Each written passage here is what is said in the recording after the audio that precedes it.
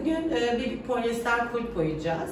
Kullanacağımız malzemeler Senart siyah, Senart amber tonu, Senart beyaz, e, eskitme kremi espresso, varak ve miksiyon. Bugün bu polyesterimizi boyayacağız hep beraber. İlk önce polyesterimizin e, tozunu aldık. Daha sonra Senart siyah boyayı kabıma koyuyorum. Ve bolcana su ekleyeceğim içerisine. Çünkü biraz sulu olsun istiyorum. Şu şekilde. Ve polyesteri bir astar falan çekmedim. Direkt kendi üstüne yapacağız bunu. Yapıp sonra da şu şekilde siyah boyayı gene su yardımıyla dağıtarak sürüyorum. Her tarafına girmesi gerekiyor. Bunun için de kıl bir fırça kullanıyorum. İpek kullanmıyorum özellikle.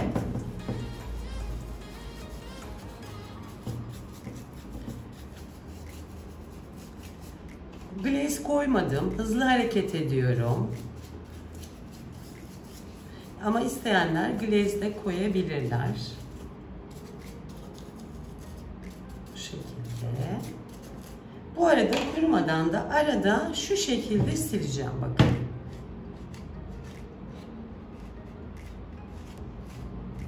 Şöyle siliyoruz.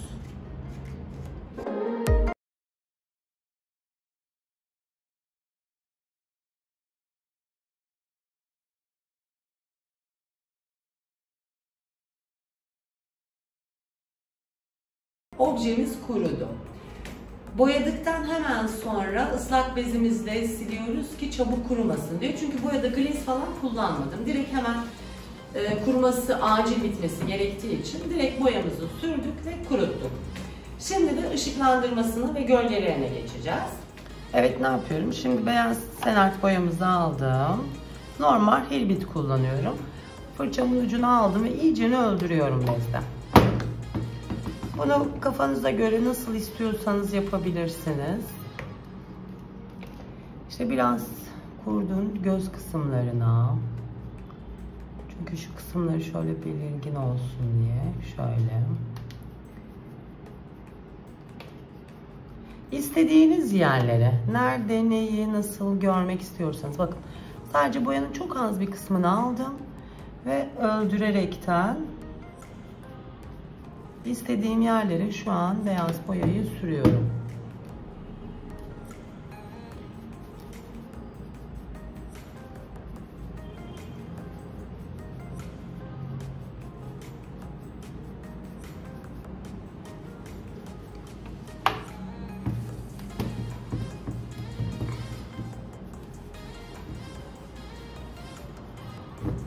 Çok hafif dokunuşlarla şu şekilde.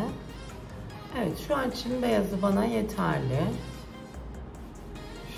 Şuralarda da hafif.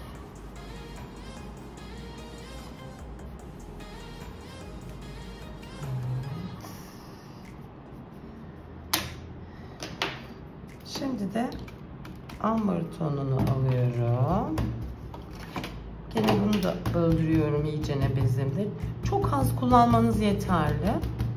İyicene öldürüp bunu da üstten gene böyle hafif istediğim boşta olan yerlere vuruyorum. Böyle hafif dokunuşlarla. Nerede neyi görmek istiyorsanız. Bu tamamıyla sizin kendi zevkinize kalmış bir şey.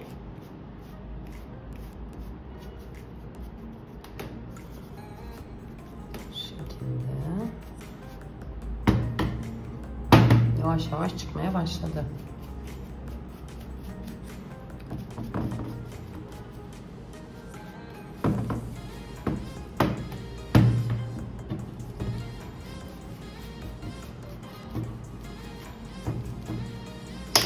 Evet daha sonra gözün içini bakın direkt siyah boyamızla boyadım. Göz kısımlarının içine.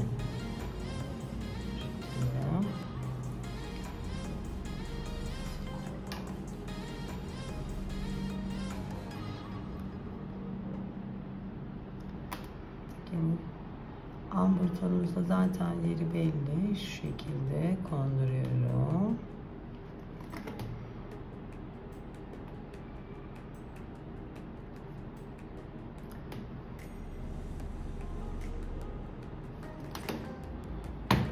Evet, şimdi gözlerin kurumasını bekleyeceğim.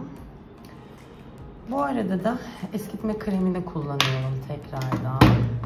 Fırçamı temizliyorum. Her biri için ayrı bir fırçanız olursa daha rahat edersiniz.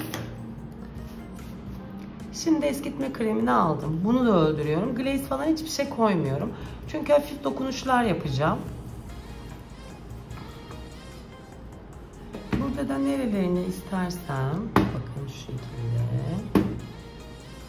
istediğim olanlardan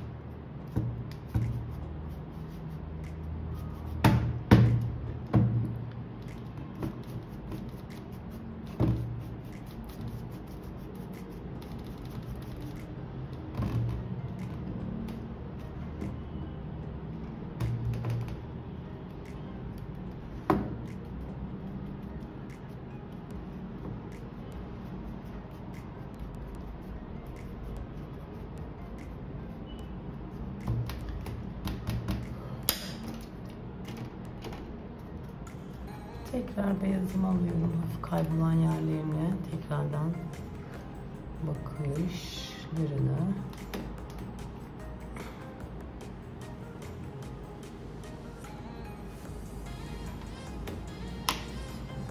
Evet. Ne yapıyorum? Burnunu da şu şekilde siyah boyayla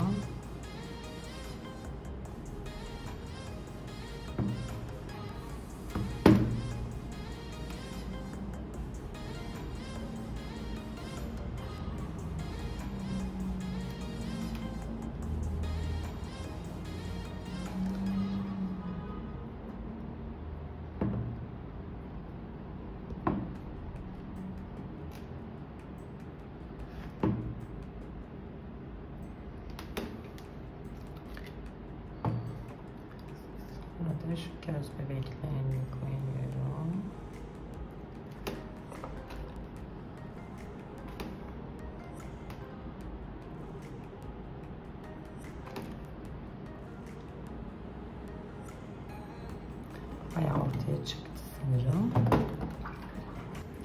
Alt taşlık olan bölgeyi de beyazımı gene iyice öldürdüm. Burayı daha beyaz olsun istiyorum, daha açık.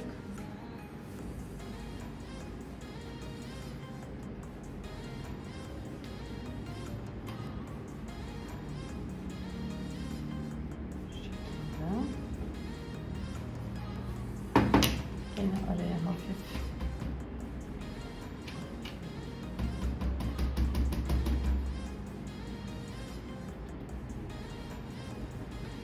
ufak dokunuşlarla sadece istediğim yere nasıl yapıp nereden iyi görmek istiyorsanız onu koyabilirsiniz. Evet şimdi gözünü de ufak bir beyaz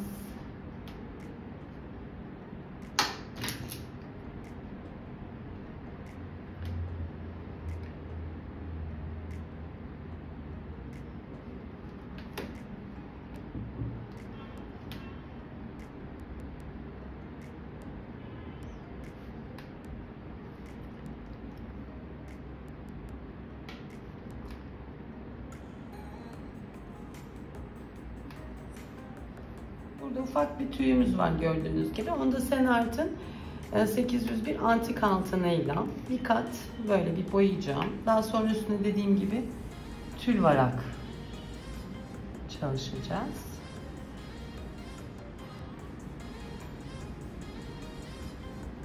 Şekilde hafif. Niye boyuyorum? Tül varak çalışacağım için olur yapışmayan yerler olabilir. Alttan beyaz çok sırıtmasın diye. Hem de bir ne olacağını göreyim.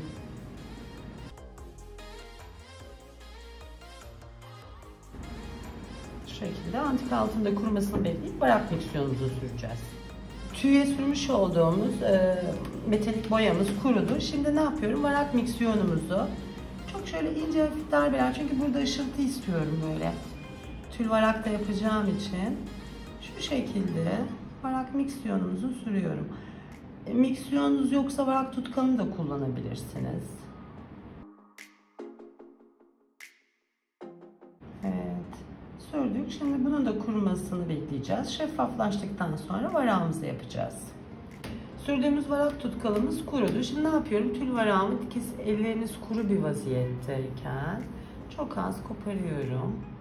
Bakın ucundan başlayıp elimde de yumuşak bir fırçayla hafif dokunuşlarla varak tutkalı sürdüğüm yere şu şekilde yapıştırıyorum.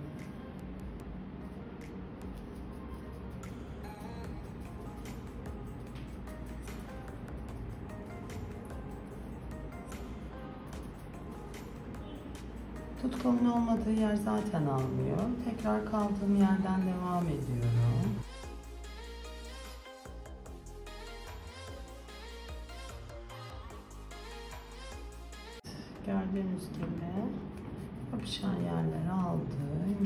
Fırçamla şöyle de süpürüyorum zaten.